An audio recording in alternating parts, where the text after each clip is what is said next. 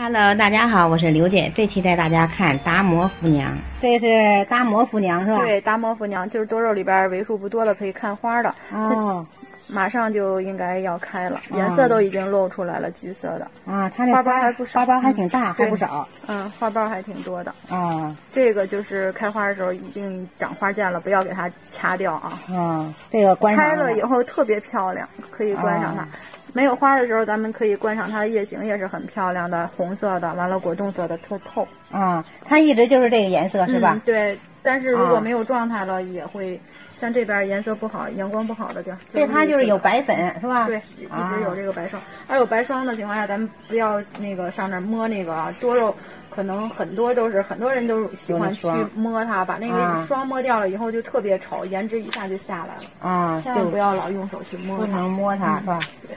啊，达摩福娘多漂亮，还能看花，所以咱们大家那个家里边要养这个达摩福娘呢，这花不要揪掉，就是让它留着开花，非常非常好看的。过两天刘姐再给大家拍一下这个开花的，花开开了，让大家看一下。好了，这期视频就到。